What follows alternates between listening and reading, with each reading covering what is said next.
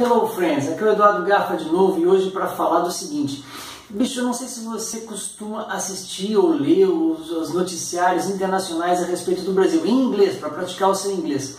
E infelizmente, uma das palavras que mais aparecem em cada texto ou cada reportagem que é feita sobre o Brasil é a palavra bribe ou a palavra bribery. Bribe or bribery. Que querem dizer respectivamente o que? Propina e suborno bribe, propina e bribery, suborno.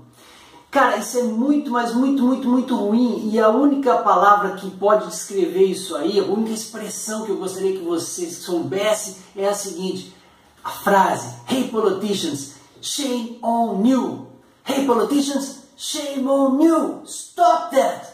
It's a shame. Sacou? Não sei se você concorda comigo. Não gosto de falar de política, mas eu tô fed up sick and tired of this. What about you? See you next video. Bye bye.